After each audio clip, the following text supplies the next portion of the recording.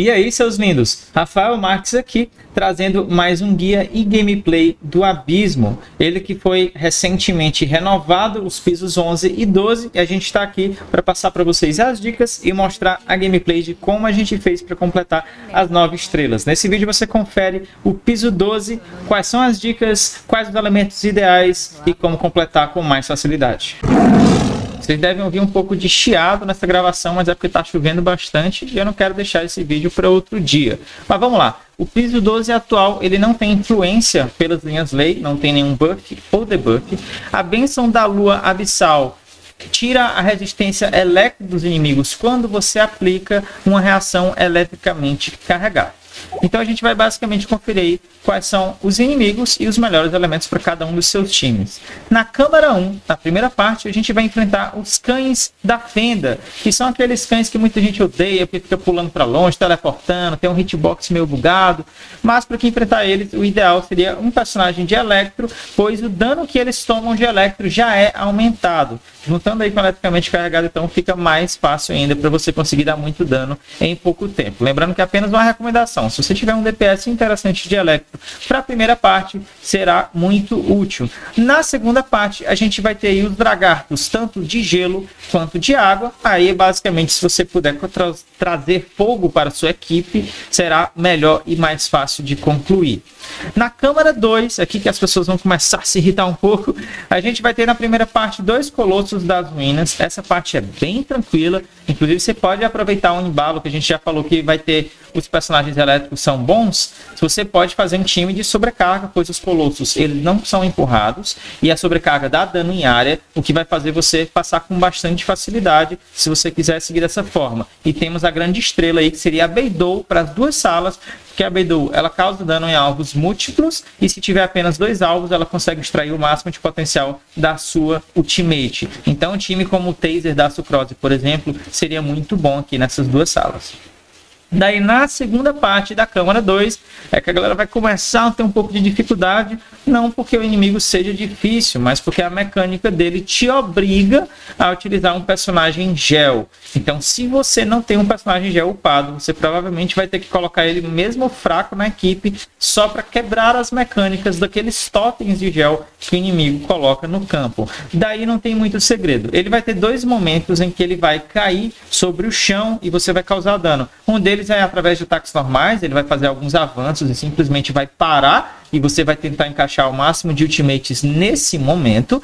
E também quando você quebrar esses totens de gel, é aí a melhor parte, porque ele vai passar muito tempo parado e você tem tempo de sobra para causar dano. Aqui os personagens que podem causar dano sem precisar entre aspas, mirar, como é o caso, por exemplo, do Oz, da Fischl, da Ultimate do Shintil, você consegue ficar aplicando dano no boss, mesmo quando ele está sobrevoando pelo campo, o que vai facilitar muito. Enquanto você faz isso, você consegue manter a vida dele baixando sem precisar do RNG ou esperar o boss ficar no chão para você causar o maior dano possível.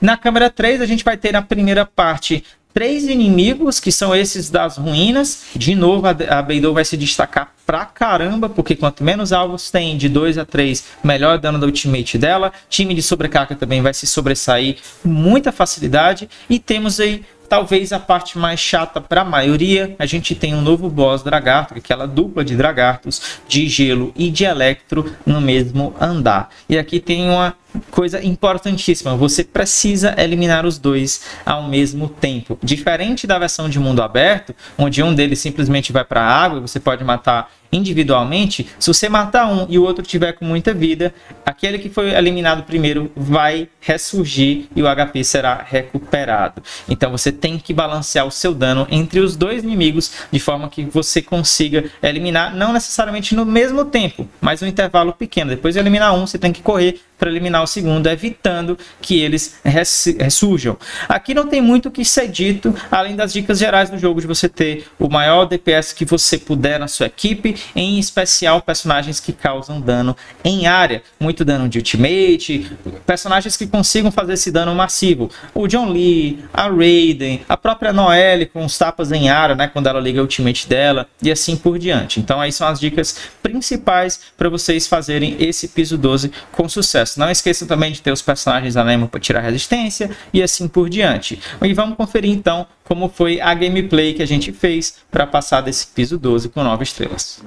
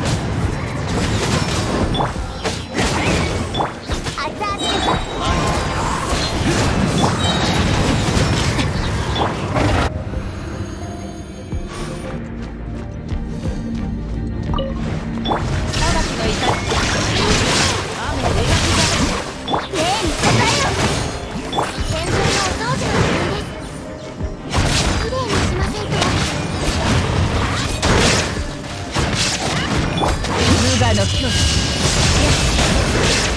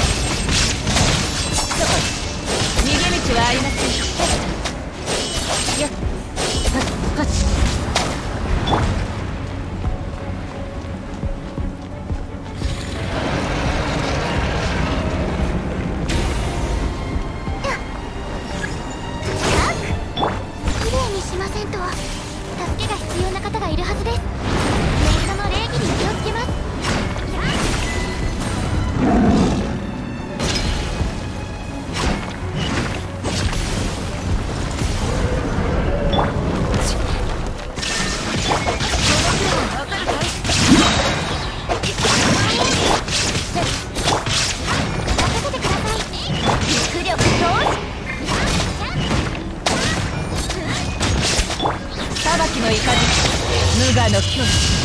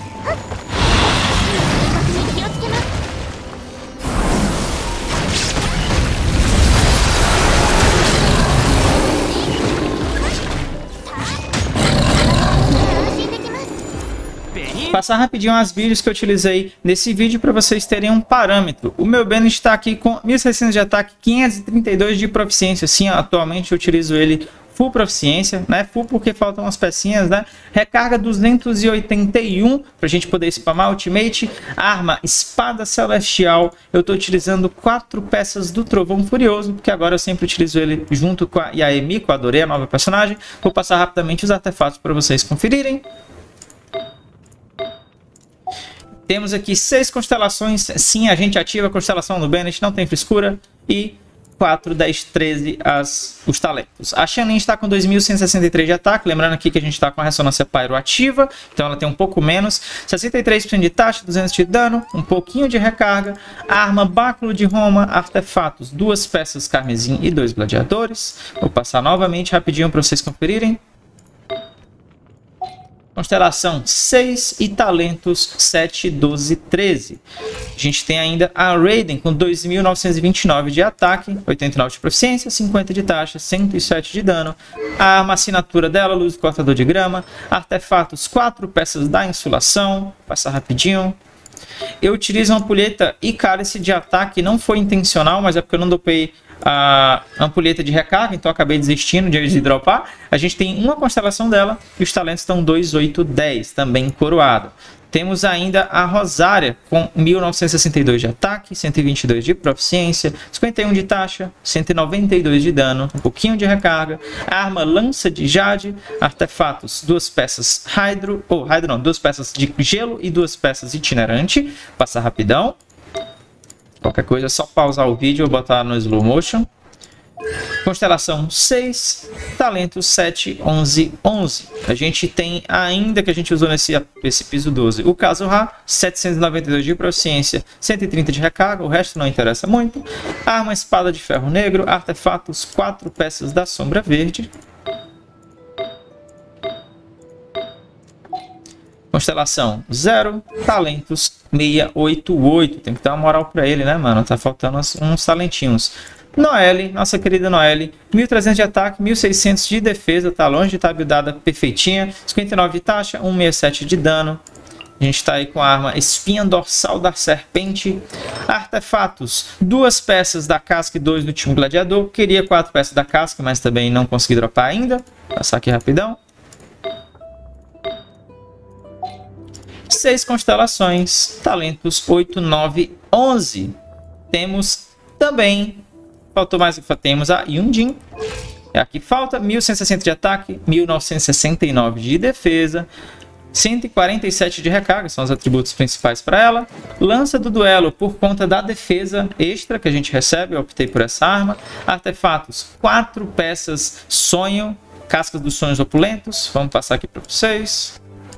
A ampulheta tá de ataque porque a de defesa está na Noelle, eu não tenho duas ainda, mas depois eu devo trocar também três constelações, talentos 1, 1, 9. A gente só quer ela para bufar o dano da ultimate da Noelle. Tinha faltado o Shintil, ele é que tá com a build piorzinha nesse exemplo que eu fiz de gameplay, ele tá com 1500 de ataque, 226 de proficiência, a taxa e o dano bem baixinhos, 48,94 e 172 de recarga.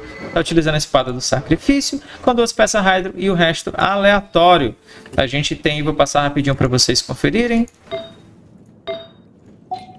seis constelações e talentos 1, 11, 12. E se você gostou desse vídeo, não esquece de deixar o like e se inscrever no canal. Um abraço, feroz!